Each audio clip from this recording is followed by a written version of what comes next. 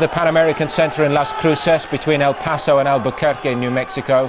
Tapia remains a huge ticket seller, a crowd pleaser with a magnificent record at world level. He's held four different world title belts and he's not finished yet.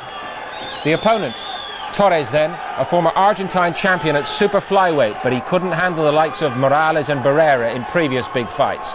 Tapia starts favourite here. After the first bell, Glenn McCrory and Adam Smith. Think you've had a crazy life? Johnny Tapia is the wildest, most emotionally charged and complicated character in boxing today. After a turbulent roller coaster ride both outside and inside the ring during the 90s, Tapia sits now in his third reign as world champion. But how much more has the real Mi Vida Loca got left this side of the millennium? Here in his home state of New Mexico, Tapia defends his WBO bantamweight title for the first time against Argentinian Pedro Javier Torres. A former South American champion, can Torres here in the red and white lift himself up to match the always adrenaline-pumped and fiery Tapia? And should Tapia box, as he has become more accustomed to do of late, or go to war against a man who has been stopped early before? Well, I think Tap Tapia will want to try and get rid of this opponent as early as he can. He wants to try and impress. He's looking for big money fights against uh, the big names out there. And uh, yeah, I think he'll want to do a, a good job on this opponent. Tapia will be looking for speed, an excellent counter puncher, and try to pressure Torres back. He's already on the back foot, Torres, just circling around the ring. Can be quite negative sometimes. But the word is that he wants to slow Tapia down. He's got to, really, hasn't he? Well, he's got to. We're not fighting the way he is in the, the opening session. And Tapia just trying to rough him up a little bit, just make his presence felt. Maintain, John. He's got my arm, says Tapia. Already a little bit of roughness in the first round, and Johnny Tapia won't mind that.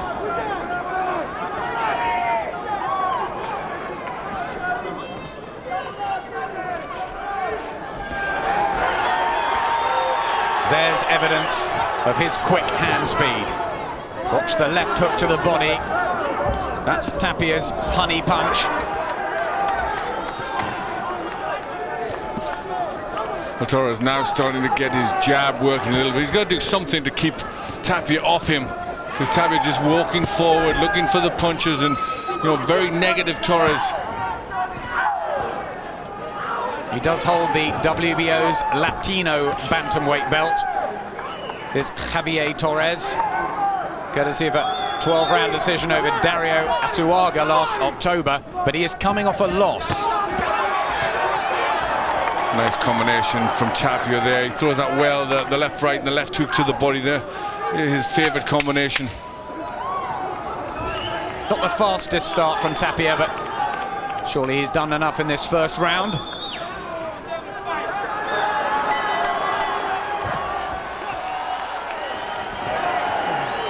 As they go back to the corners.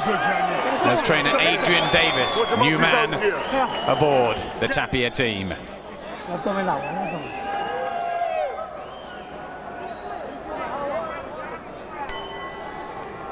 Second round of the WBO bantamweight title, the eight stone six belt, Johnny Tapia. Here in the black and gold trunks, 33 years of age, a four-time world champion up against Pedro Javier Torres from Salta on the lower slopes of the Andes in northwest Argentina. Well, Torres has now come out a, a, lot more aggressively, and this this is better for Torres. He's starting to throw the, the overhand right, and he's caught Tapia a couple of times with that punch. Tapia is going to have to just be a little careful defensively. He can be open to the right hand. Tapia, his only defeat on the record was a loss to Paulie Ayala.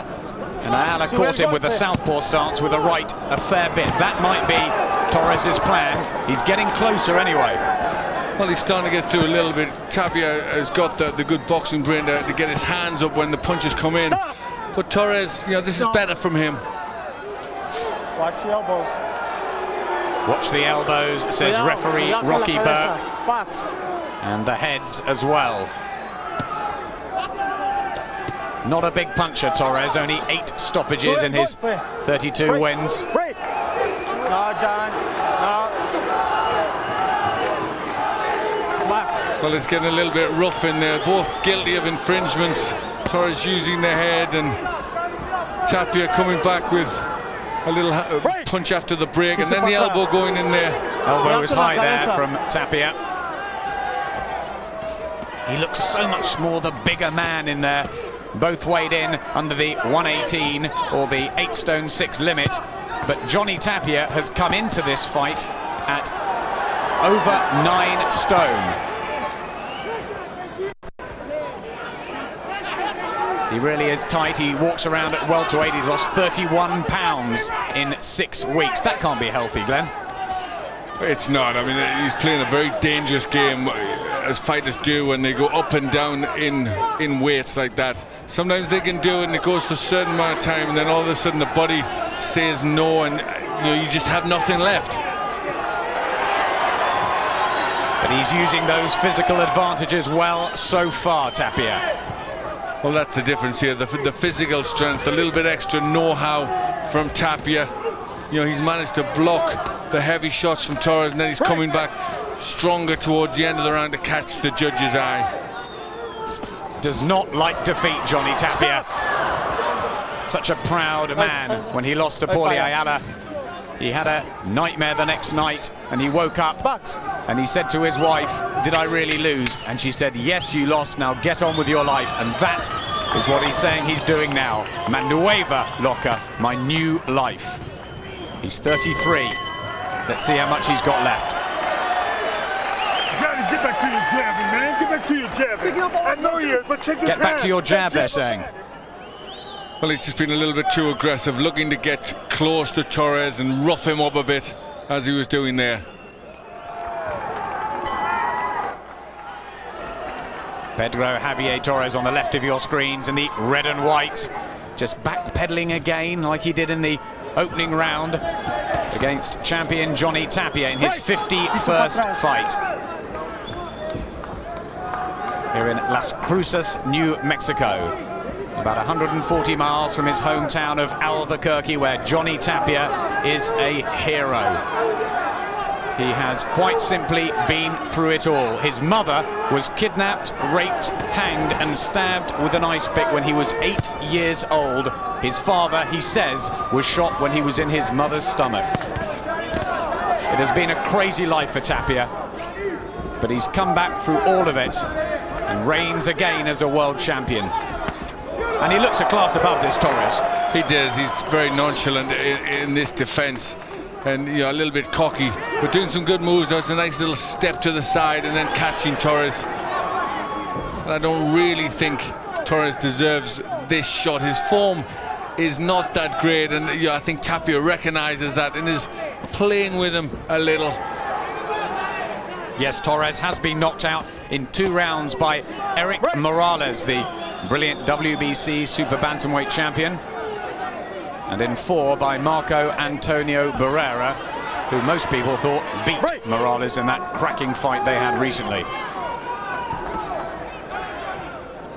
Right. Tapia, not the biggest puncher, but he's sharp.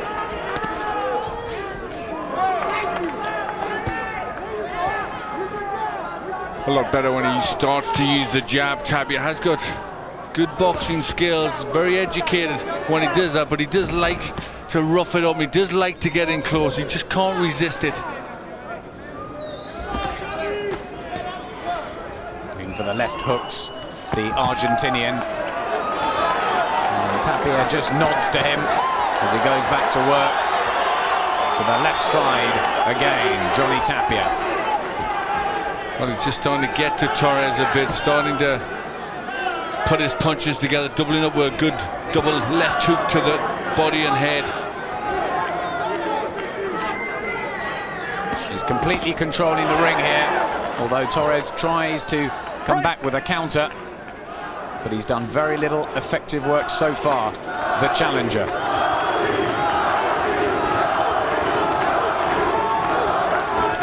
The crowd really getting behind their local hero. About 12,000 here in the Pan American Center. Just closing down the range, and that's uh, good punches again from Tapia and a good round. First defense of the WBO bantamweight title. Johnny Tapia champion against Pedro Javier Torres. It's a strong division, the uh, 8 stone 6 worldwide at the moment. Tim Austin holds the IBF.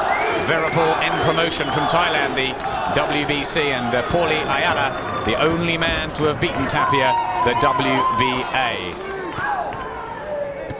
Tapia well in front, we think, against Pedro Javier Torres who's been a little negative so far. But the word from his camp is that he's stubborn and strong and we'll be just hoping that Tapia can outpunch himself a little bit and tire towards the closing stages. He is the younger by five years, Torres. Well, Torres has got to start using his jab more, start bringing that right hand in. You know, take the fight to Tapia a little bit.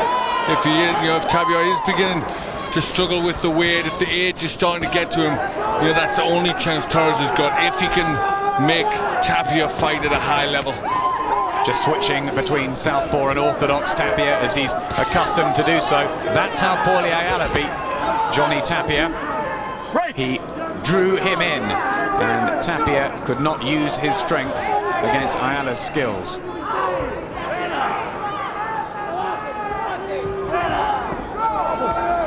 Can be frustrated as well, Tapia.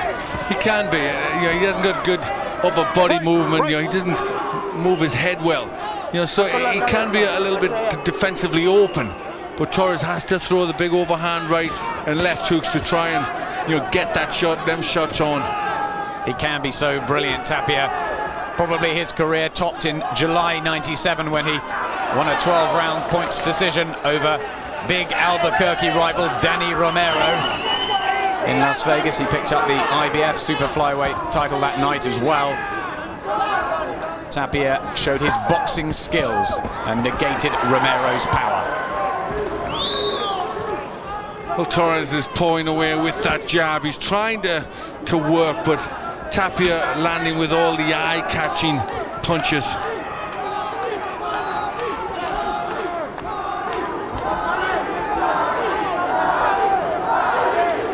Torres was the Argentine super flyweight champion and the South American holder of that belt from 94 to 96. He's uh, got some pedigree as an amateur too. Right! Right!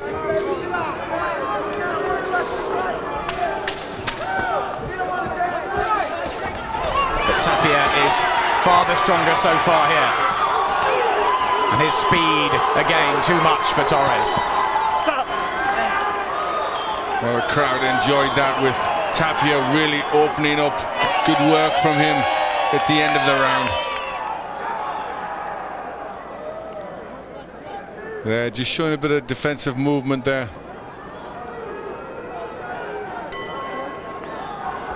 Up rushes Johnny Tapia for this seventh round in front of his faithful fans. He works with the local police on uh, these fights in New Mexico, Johnny Tapia. Right! Anyone who hands in guns to designated police stations gets free tickets for the fight and 3,000 loads of ammunition and 400 guns were handed in in the last two days before this. And Tapia very proud because of his rough and difficult past. Sounds like a quiet little town, Adam. He's had all sorts of problems. Tapia was out for three years through drugs. He says he's never completely reformed, but he's done his best as he goes toe-to-toe -to -toe now with Javier Torres. Well, this is good from Torres. He's showing, you know, a big heart here, taking the fight to Tapia.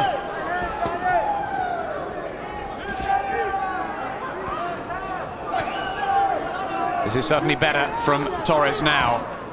He was just easing off on the back foot in the early rounds. And Tapia was in a rhythm, counter-punching effectively. And not letting Torres into the fight. Got to pressure him. He's got it. That was good work from Torres. Just you know, throwing lots of punches, wide hooks. That's the, the sort of thing you can catch Tapia with, and uh, you know, he worked well there. But Tapia, you know, he'll relish that. He's a he's a real macho man. He likes anybody that can stand and have a fight with him. Break. Many think there are no braver boxers around on the circuit today than this man, Johnny Tapia. There's uh, three tattoos on his back, Break.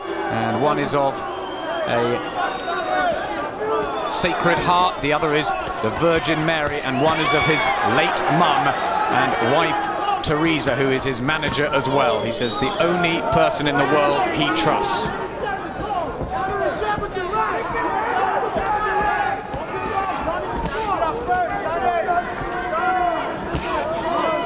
Trying to get that jab out again, Torres.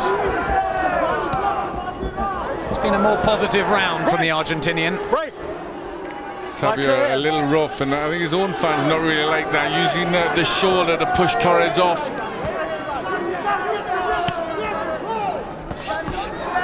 Break. Break. Again, Tapia looks disgusted as Torres tries to hold. But he has been more effective. He has been. He just you know, didn't defend as well. Tapia again. He's complaining of a low blow there, Torres. Just getting a bit rough at this stage in the fight. Uh, he's going down. He's been given five minutes by the referee, Rocky Burke. But he Okay. doesn't look as though he'll need anything like that. Time. Time in. And Tapia bows and puts his hand out. He always shows respect, Johnny Tapia, and that's why he's so popular. Always shows respect, but normally does it all over again. But then after the bell, a bit of late punching there. Exactly as I thought. Real Jekyll and Hyde character, this Johnny Tapia. He's big. Hurting that body. That's why he's doing that. Well, there's the, the low blow, and it really was quite low. He is rough, Tapia. He will shake your hand, but you know put the punches in, and they're just throwing after the bell. Five rounds to go here in Las Cruces. The red trunks of Pedro Javier Torres, the challenger from Salta in Argentina, 28 years of age. He's won 32 of his 55 contests. And he's up against the champion Johnny Tapia at 33. How much more or of this story are we going to see from Mi Locker. You could not script this and sometime a movie will be made about this man and his life. He's got ambitions though, further than the bantamweight division. He wants to go up, struggling at the weight. He wants to meet Marco Antonio Barrera or Erik Morales and Watch your kidneys. watch your kidneys now, the referee says. Again, Tapia bows. Oh, what terrific fight any of those would be. Tapia with Barrera or Morales. You know, they will be exciting, but you know, could he carry the, the weight of, could he be strong at those at that weight? He probably will be. He's never been a concussive puncher. But of course, against Barrera and Morales, they really are world, world class. The Barrera fight could happen because of the link with promoter Frank Warren, who's taken over Tapia's career. Tapia again going southpaw. Well, I think this is the kind of opponent that you know Tapia can try a few things with. He is, you know, just switching occasionally to southpaw and with some good effect. Tapia tries to work the body of Torres. He's going to have to pull something out now, this Argentinian, if he wants to join the ranks of Carlos Monzon and Julio Cesar Vasquez, Miguel Castellini as Argentinian world champions. Never seem to have the strength behind that jab. He has, he just poured with it really, and then Tapia puts his out really solid. And you know that's the sort of punch that will will count in a, a fight like this. Break. Break. The referee has been busy from the opening bell. Again, Torres holds on to Tapia's back. Maybe he's not starting to like these body shots that Tapia's throwing. No, I think Tapia is really hurting him around the, the body from very early on. He's boxed out of a, a crouch, and I think that's you know, in case he gets, you know, he's trying to defend himself against the, the big body punches that Tapia throws. Yes, he has got a height advantage, Torres. But it doesn't look like it in there. Double left from Tapia. Good action here in the eighth. Sorry, and this is what Tapia relishes. He relishes when an opponent takes the fights to him. The crowd get going and he reacts. Again at the bell. They become tangled up in one another.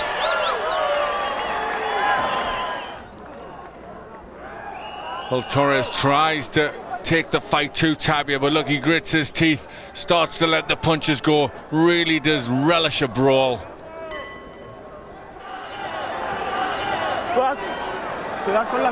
Ninth round here in New Mexico. Champion Johnny Tapia in the black and gold trunks. Former WBA bantamweight champion, WBO and IBF super flyweight king. Now reigning as WBO bantamweight champion, and he says this will be his last fight at 8 stone 6. This is Pedro Javier Torres' first world title shot. And He's starting to struggle a little with the weight of Tapia's punches. Tapia really leaning in, looking to, to get the leverage into those body punches and catching Torres with both hands. Torres going to be very sore around the ribs tomorrow. And to be fair to Torres, he has come in and given it a go as best he knows how. But on paper, it was always going to be a hard task. Ranked number nine by the World Council and Tapia looking to put on a show in front of his home fans. Another left digs into the body of Torres and he goes down to take his first count of the contest. Success for Johnny Tapia here in the ninth and it was the sheer weight of his shots that has Torres in a little bit of trouble here. He doesn't look badly hurt, but he's obviously tired. Well, he's been hit with so many hooks to the body. That first left hook really was a good one. I don't think he ever re quite recovered from that. Now Tapia putting on the pressure. Looking for that left hook again. Tapia as Torres crouches down and tries to hold on. Gets low to try and protect his body. Can Tapia find it? As we said earlier, Barrera and Morales stopped this man. If Tapia could do it, he would send out a message to the higher weight class that he has plenty left to offer. Well, he really is going for the, the stoppage now. Some good punches going in. This has got to be taking its toll on Torres.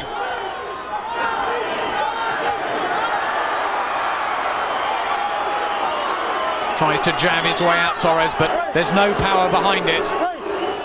And he needs to hold on to get through this round. Just shoved off. Okay, mantienen. Okay, control yourself. Okay, no, no le detengas. Okay.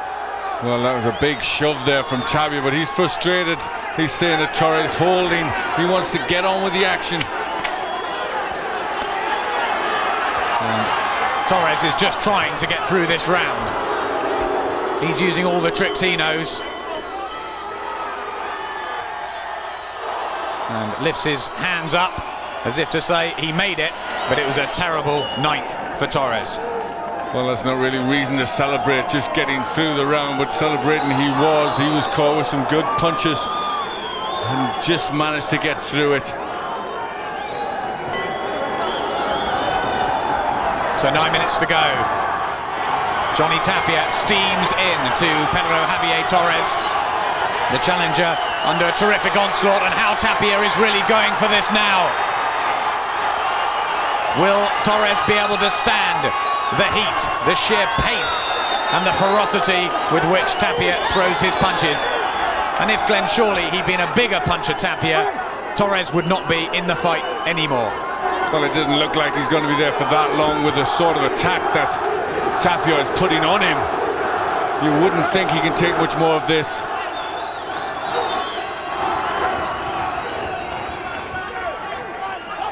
Tapia really wanting to put a show on for his fans. What's interesting is that Torres is a natural bantamweight and Tapia has looked quicker. He's looked quick, quicker, you know, he's very sharp, he's more accurate, stronger.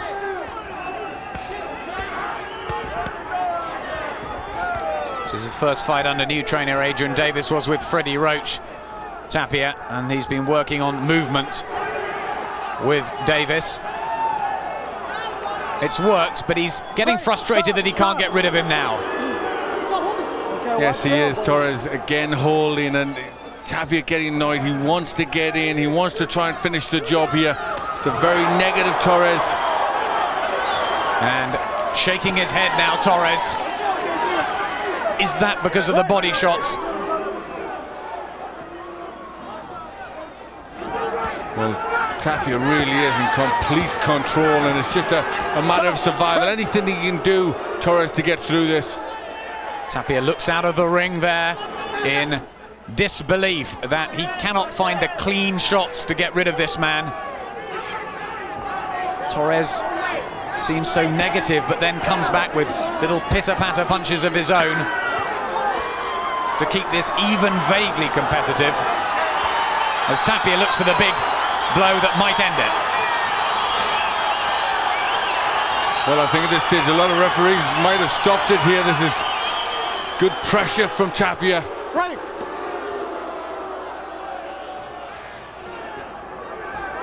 Stalking Torres around the ring now. No place to hide for the man from Salta. And he's complaining more and more. Right. Javier Torres. He just hasn't been able to get into this world title fight at all. And a shame. I mean, this is his big opportunity. Well, I think it's very difficult when he's in with a fighter of Tapia's class. He's tried gamely. Again, getting rough, getting frustrated, Tapia. A few boos from around the arena here at some of the tactics going on.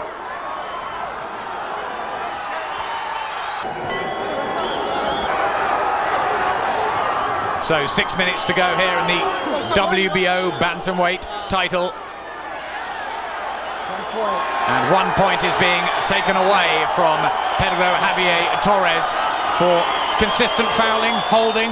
Yeah, Could have been for anything. That's for hauling. He's just grabbing onto Tapia far too much, and uh, the crowd's had enough. They're getting frustrated. Tapia has been frustrated for a long time. Finally, the ref takes a point off uh, persistent hauling As you were saying in the last round, the referee could easily have called it off by now because Torres really doesn't look as though he wants to win anymore. Well, you know, his game, he's still throwing punches, but he's very, very much on the defensive. You know, he's looking to survive in there. You know, he's still a proud man.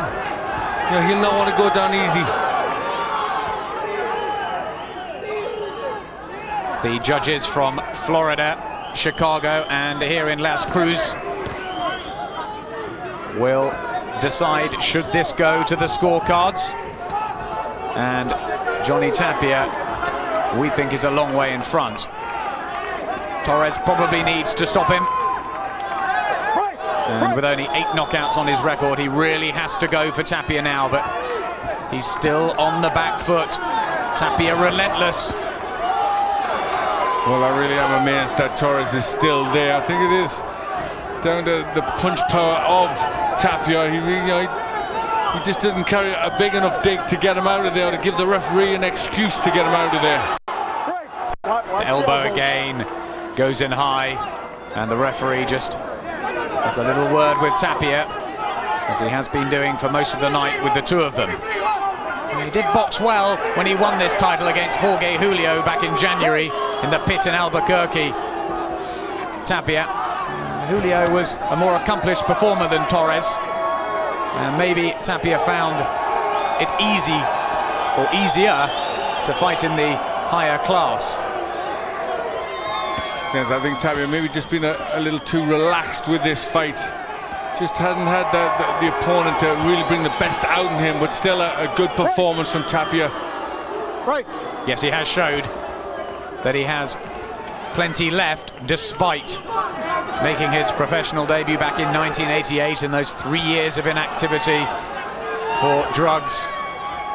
The long road and the show looks set to go on here for Johnny Tapia.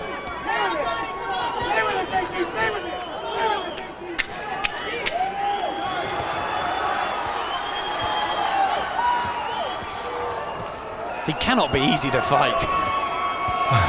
well, he's just all over Torres. But Torres still gamely trying to punch back and throw some jabs and a mark of respect to each other there. Yes, that was nice.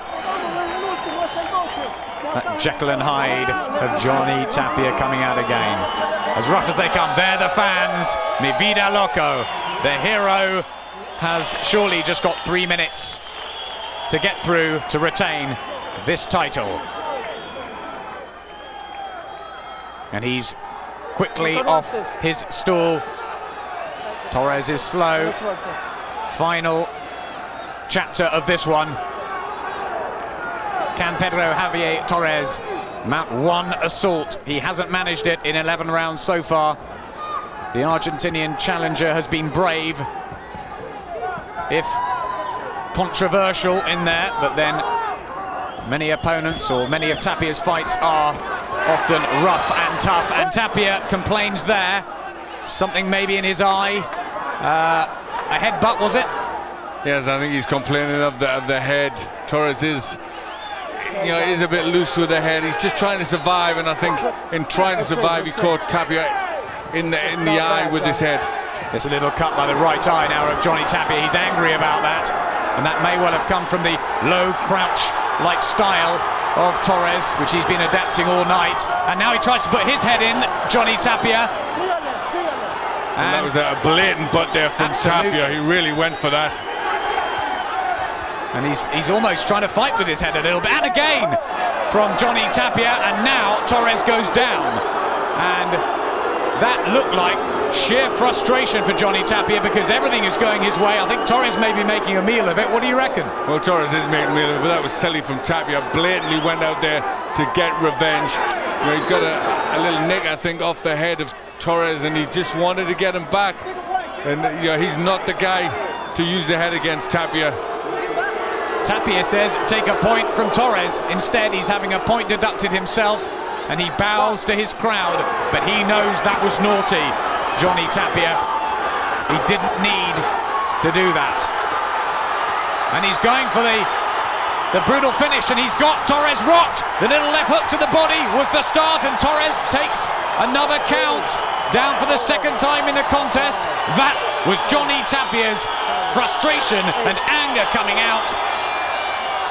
Torres lifts his arm, but he's got a minute and 20 to survive. And this is Tor this is Tapia showing what he can do now. This is more like him. Really going to, to get Torres out of there. Yes, he has been in total control, Johnny Tapia.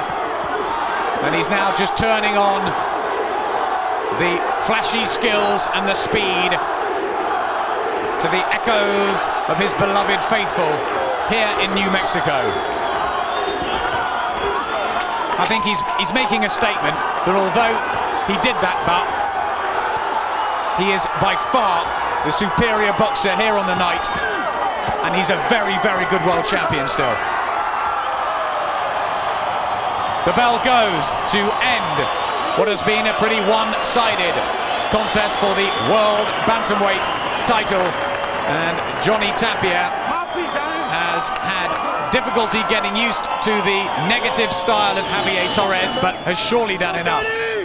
Well, he's a landslide winner, you've got to say. He won everything. Torres put up some resistance because of, you know he wanted to survive, but that was a, a solid performance. There's the head going in. That was just blatant, ridiculous, but you know, that's the sort of guy Tapia is. And there's the revenge. Right when the referee was there, he, he knew it, didn't he? Just does it again. Just make sure he gets it on and lets Torres know what he did wrong.